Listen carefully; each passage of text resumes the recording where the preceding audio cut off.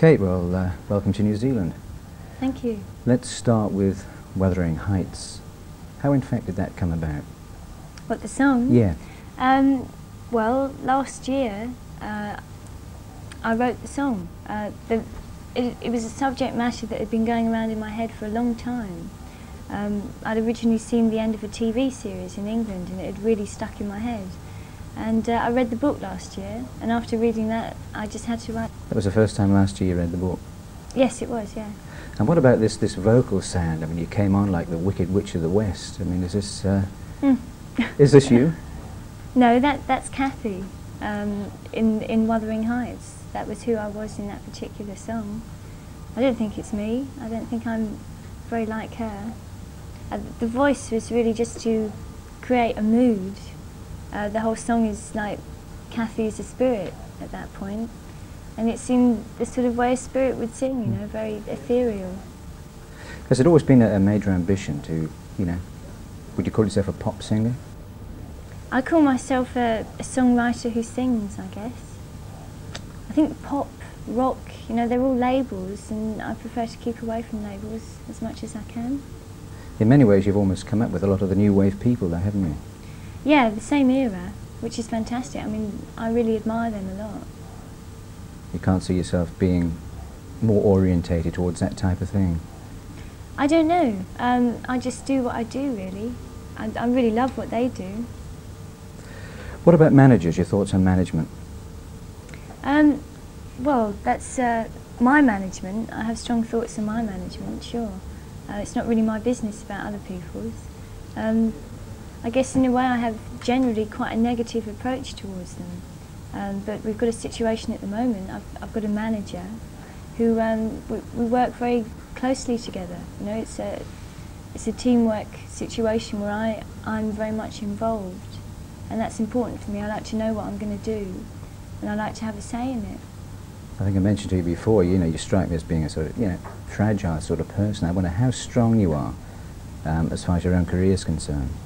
I think the fragility you're talking about is probably in my physical appearance, and I think physical and, and mental attitudes are two very different things. I mean, a lot of little people, if you like, have been very strong, like uh, Napoleon.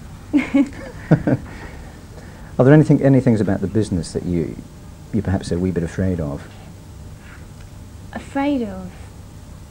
Yeah, I guess so. I think there are things everywhere that I'm afraid of. I think it's things in life I'm more afraid of than my work. Uh, there are things I get nervous about, sure. What about the, the music business there? What, what aspects of the music business, you know, might give you a wee bit of concern? Record companies, when I make a, an album, I think about the music. Do you ever find that they're, they're keen to push a certain image onto you?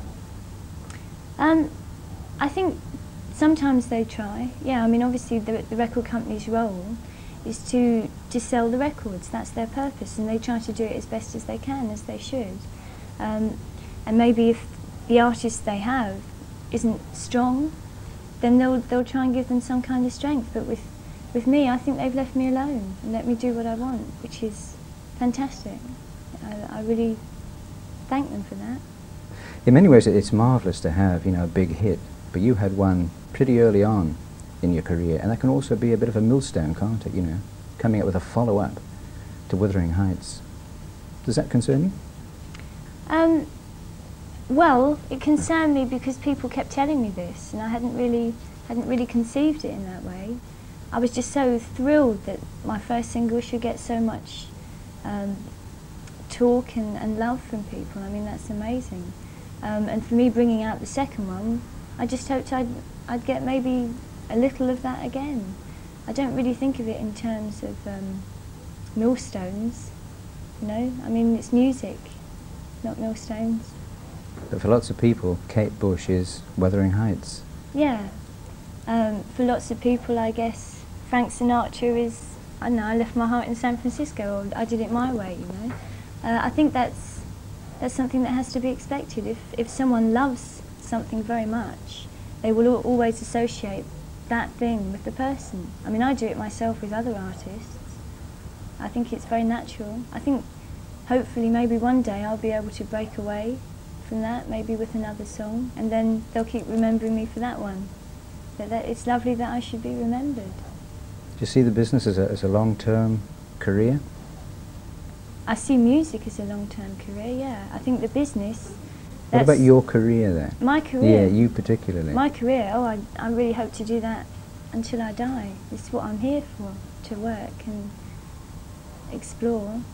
You prefer it to psychiatry? I don't know. I've never done it. And it's something I, w- I was interested to do at one point. I think, uh, in a way, writing songs is a, a mild form of psychiatry. Okay, thanks very much. I'll see you tomorrow down in Wellington. Thank you.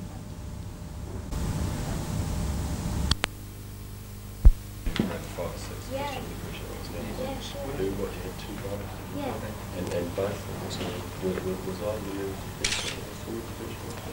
Well, what they what they used to do was um, it was the thing they used to love doing, you know, playing music, and they used to go around with folk clubs Oh. locally. That's right. Yeah.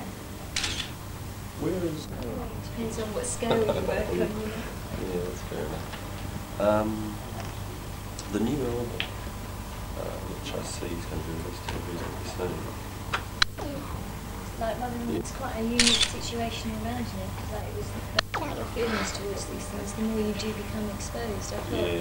very sure of myself on that first album about the choice. Yeah. Um, and this time round, I really found myself wondering maybe that one, because that's what people that hear it. Yeah, you that's know. right. Otherwise, you'll give them a really false impression, and they'll go thinking, "Oh, great," they'll listen to Yeah. it, and it won't be what they thought. Hammer Horror, were, were you a Hammer Horror movie fan? Corny. Yeah, that's right.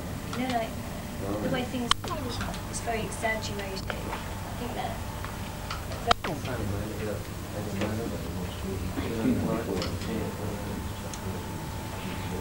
Really? Yeah.